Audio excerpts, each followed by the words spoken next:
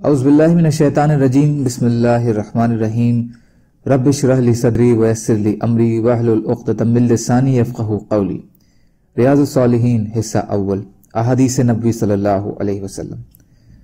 حضرت ابو حریرہ رضی اللہ تعالیٰ عنہ سے روایت ہے کہ رسول اللہ صلی اللہ علیہ وسلم کو جب چھینک آتی، تو آپ اپنے منہ پر اپنا ہاتھ یا اپنا کپڑا رکھ لیتے، اس کے ذریعے سے اپنی آواز کو ہلکا یا پست کرتے۔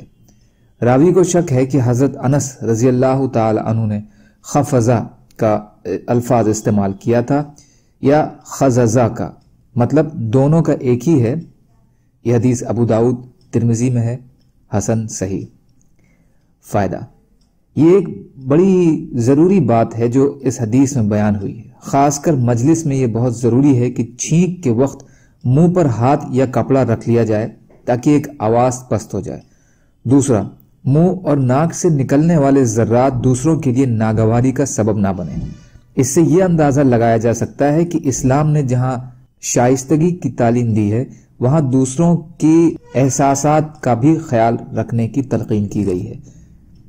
حضرت ابو موسا رضی اللہ تعالیٰ عنہ سے روایت ہے کہ یہودی رسول اللہ صلی اللہ علیہ وسلم کے پاس بتکلف چھینکتے اس امید پر کہ آپ صلی اللہ علیہ وسلم ان کے لیے یرحمک اللہ کہیں گے۔ لیکن آپ اس کی بجائے کہتے، یہدیکم اللہ ویسلح بالکم۔ ابو داود ترمزی حسن صحیح۔ فائدہ۔ اس سے یہ معلوم ہوا کہ غیر مسلموں کی چھینک کے جواب میں صرف یہدیکم اللہ ویسلح بالکم کہا جائے۔ حضرت ابو سعید خدری رضی اللہ تعالیٰ عنہ سے روایت ہے کہ رسول اللہ صلی اللہ علیہ وسلم نے فرمایا جب تم میں سے کسی شخص کو جمائی آئے تو اپنے ہاتھ سے اپنا بو بند کر لے۔ اس لیے کہ شیطان اندر داخل ہو جاتا ہے۔ مسلم شریف۔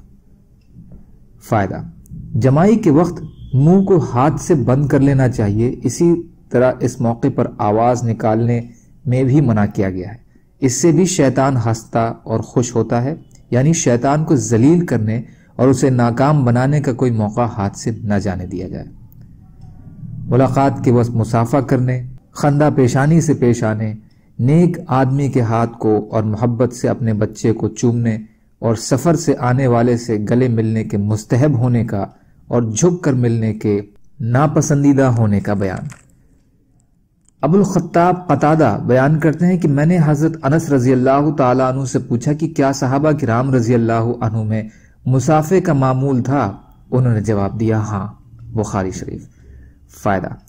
مسافہ صفحہ سے بنا ہے، جس کے معنی ہے کہ ہتیلی کو دوسرے شخص کی ہتیلی سے ملانا۔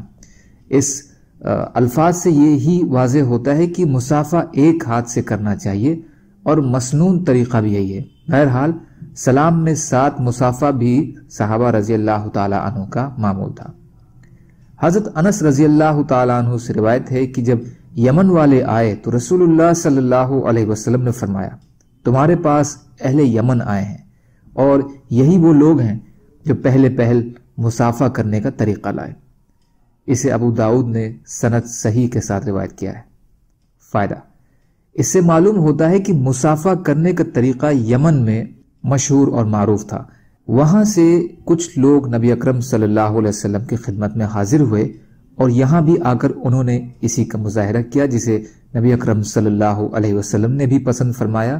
یوں یہ آپ صلی اللہ علیہ وسلم کی تقریری سنت ہو گئی۔ آ حضرت صلی اللہ علیہ وسلم نے اپنے سے پہلے جو اچھے طریقے مشہور تھے، وہ رہنے دیے اور جو برے تھے اسے بدل دیا۔ یعنی نبی اکرم صلی اللہ علیہ وسلم کو ہر بات میں حسن پسند تھا اور قبا ناپسند۔ اللہ تعالیٰ کہنے، سننے سے زیادہ عمل کی توفیق عطا فرمائے۔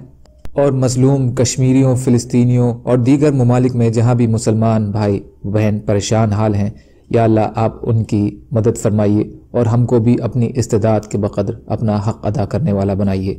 آمین۔ سبحان اللہ و بحمدہ سبحان کا اللہ بحمد کا شد اللہ الہ الا انتا استغفر کا واتوب الیک۔ سبحان رب کا رب العزتی اما صفون وسلام علی المرسلین والحمد للہ رب العالمین۔ برحمتی یا ارحم الراحمین لا الہ الا اللہ محمد رسول اللہ